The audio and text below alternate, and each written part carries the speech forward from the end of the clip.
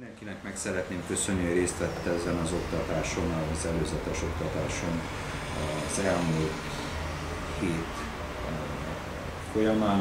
Diákművelődési házon mintegy 2300-2400-an vettek részt, és töltötték ki ezeket az adatlapokat.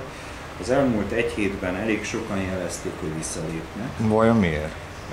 Hát valószínű azért, mert tudomásukra hoztuk azt a hatalmas munkát, amit el kell végezniük, és majd ezt követően belekezdtek a kollégák a különböző körzetekbe a nevesítési munkálatokba. Ebben a pillanatban mintegy 600 580-600 ember részesült egy tanfolyamban csütörtök délután fél háromtól diákművelődési házban. A jelzések szerint elég sokan nem jelentek meg, illetve azok közül, akik a teremben részt vettek ezen a mintegy három és fél négy órás oktatáson, elég sokan jelezték, hogy vissza szeretnének lépni. Körülbelül hány százalék?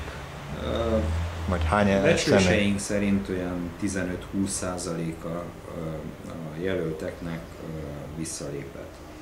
Az oktatás az folytatódni fog, és mindenki megkapja az értesítő SMS-t holnapi nappal kezdődően a hétfőire, keddire, szerdaire és nagy valószínűséggel a csütörtöki oktatásra is.